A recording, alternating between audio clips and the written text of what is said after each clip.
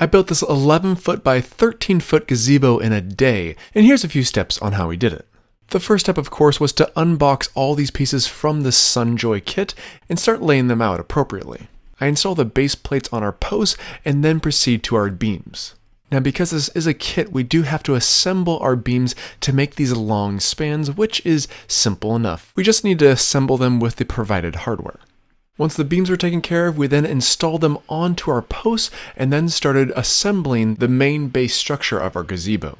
The arch supports are next to be installed and it really gives the entire base a structurally sound feel and once all those are installed we can start working on our roof line. Now the roof framing is made up of tube steel that's powder coated which is extremely durable as well as rust resistant which is definitely what we need in the Pacific Northwest.